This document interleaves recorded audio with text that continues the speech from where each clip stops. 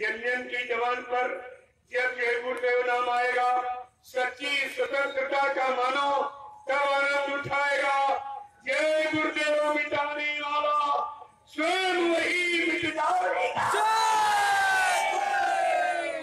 और ये सब मिट गए। जिन्होंने जय गुरुदेव नाम मिटाया खुद मिट गए, सब लाखों आप इस इतिहास को ध्यान में रखिए। अगर